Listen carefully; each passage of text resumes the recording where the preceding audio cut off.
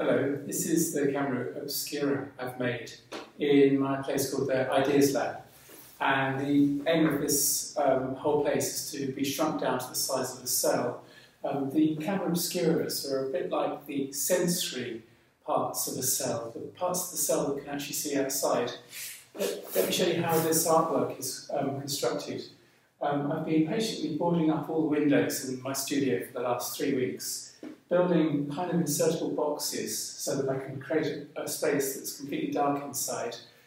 Um, I don't know whether you've ever had this experience, but when you're inside a very dark place, dark room, and if light is coming through a hole like a keyhole, you, you sometimes discover, you have that amazing moment where you discover the world outside has been projected onto the sort of back wall of that dark space, upside down.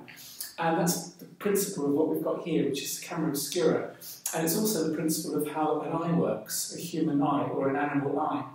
Um, have a look at this image here, the thing that looks a bit like a washing machine. Um, the vans are turning down um, down by St George's Park in Peckham and swinging around the image all at the same time.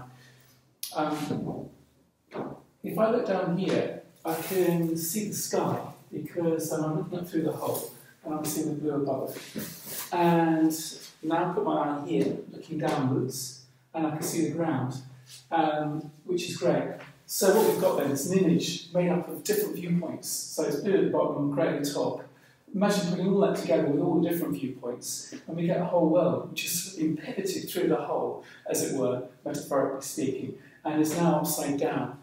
Now, scientifically, um, this image here um, and the apparatus that's making it could be, and I'm going to show you on my sort of computer trickery, it could be this, which is a sensory cell, um, just part the outer part of a normal cell with um, uh, sensory parts in.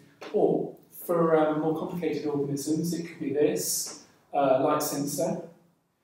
And I'm going to make this one appear. This could be more bringing round the cell to create another dark aperture.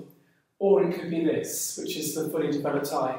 And there you can see the lens as well, which is an extra thing actually formed from the skin of the fetus as the animal develops. It preserves some of that pure, transparent skin and then, then use it as a lens.